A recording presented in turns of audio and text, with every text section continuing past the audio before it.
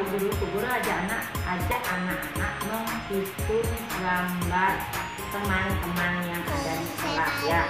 Anak-anak Pak ambil buku paket angka dan membilang dari halaman 8. Nah, di sini anak-anak Bu Guru ajak menghubungkan. Hitunglah ada berapa orang yang ada di sekolah ini.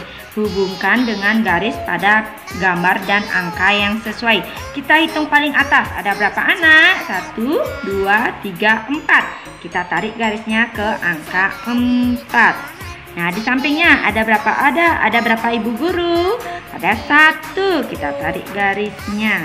Nah, di sini ada ada berapa anak ya yang duduk? Satu, dua. Kita tarik garisnya. Mencoba anak-anak di rumah. Terima kasih.